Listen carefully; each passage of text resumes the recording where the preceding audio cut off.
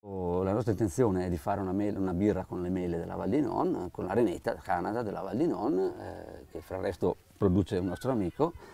e la metteremo in cottura e anche in dry hopping nel, nel fermentatore. È una birra già testata che è un po' particolare, ha un bel profumo di, di mela, proprio il Canada che ha il suo profumo particolare